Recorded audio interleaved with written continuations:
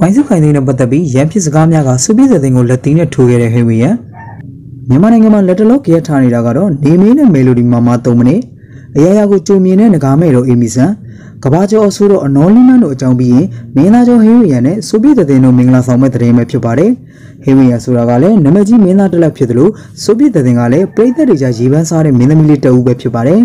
ဆိုပြီးတဲ့ဟေဝီယန်ကဆိုရင်လွန်ခဲ့တဲ့73နှစ်ကတည်းကစကားတွေအတူတူရိုက်ကူးခဲ့ပြီးယနေ့အချိန်ထိလက်တွဲညီကလက်ဆေးတွေလည်းအတူတူရောင်းချရင်လိုက်ဖက်လွန်တာကြောင့်ပြည်သက်တွေကပေးသားခြင်းနေကြတာပဲဖြစ်ပါတယ်။ ဒါပေမဲ့စိတ်မကောင်းစွာနဲ့ပဲမနီညာကဆိုပြီးတဲ့ဟေဝီယန်တို့ကကလပ်အတူတူတန်ရင်စကားများရန်ဖြစ်ကဟေဝီယန်ကမူပြီးဆိုပြီးတဲ့တင်ကိုတုံးကလက်သီးနဲ့ထိုးခဲ့တယ်လို့သိရပါတယ်။တဲနာဖြစ်တဲ့အကြောင်းရင်းကိုတော့တေချာမသိရသေးပဲတချို့ကလည်းဝိုင်းစုခိုင်သိန်းနဲ့ပတ်သက်ပြီးရန်ဖြစ်စကားများကြတယ်လို့ပြောဆိုဝေဖန်နေကြပါတယ်။ဒီကိစ္စနဲ့ပတ်သက်ပြီးဆိုဗီယက်သတင်းအမိကလည်းဟေဝီယန်ကသမီးဖြစ်သူကိုနှစ်မချင်းမဆာမနာလက်တီးနဲ့ထိုးခဲ့တာကြောင့်ထောင်ကျတဲ့အထိတရားစွဲဆိုမယ်လို့သတင်းတွေထွက်ပေါ်နေပါတယ်။ဟုတ်ကဲ့ပါဗီဒီယိုဆုံးအောင်ကြည့်ရှုပေးခဲ့တဲ့ပရိသတ်တယောက်ချင်းဒီတိုင်းကိုထိုးပဲကျေးဇူးတင်ရှိပါတယ်။